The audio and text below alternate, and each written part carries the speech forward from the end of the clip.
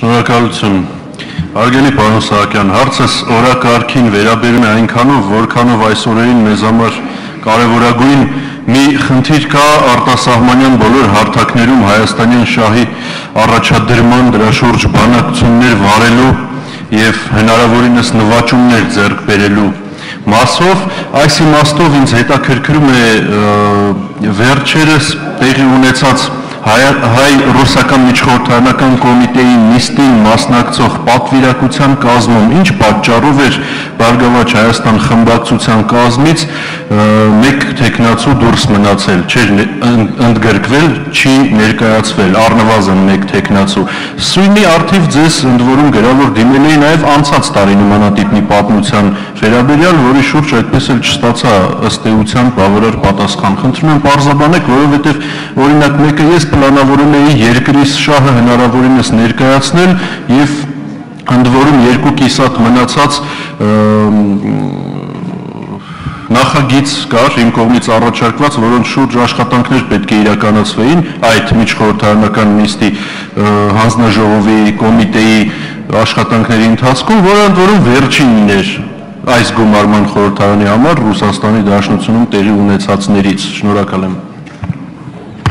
Նախ ասեմ հետևյալը, որ հրավիրվել էր 13 հոգի, իսկ խումբը 27 հոգի է։ Նույն պատճառով ինչ մնացած 14 հոգին, այնպես էլ դուք։ Գնացել են այն մարդիկ, որոնք նախապատրաստվել են, շատ լավ հայտարարություն են ընտեղարել, իսկ խնդրում եմ հետևյալը նաև պատգամավորնի, երբ գիտեք, որ խմբերը գնում են, դուք անձամբ դիմեք, որ դուք ուզում եք գնալ։ Ովքեր դիմել են, նրանք էլ գնացել են այս անգամ որևէ մեկը չի դիմել։ Տեղեկացնում եմ, որ անցած տարիների ընթացքում արդեն նշածս հայ-ռուսական միջխորհրդարանական մշտական հանձնաժողովի աշխատանքների օրակարգում երկու անգամ առաջարկել են որոշումների նախագծեր, որոնց վերաբերյալ կայացվել են որոշումներ, մեկի արդիվ նույնիսկ ձևավորվել է աշխատանքային խումբ, մեկնարկել են աշխատանքներ, մեկը վերաբերող ուրեմն հարավ կովկասյան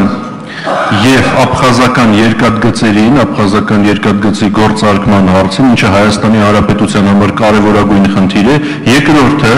ԵՏՄ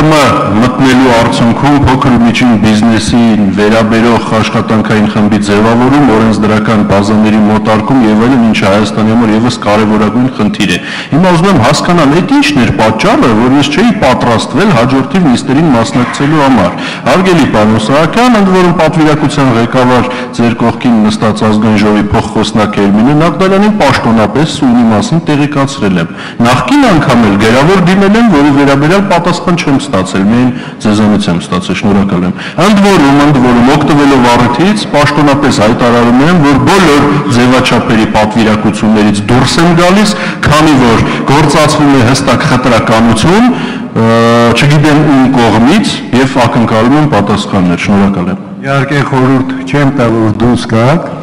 Կարծում եմ կարելի է մի փոքր սփոփիչ նայել խնդրին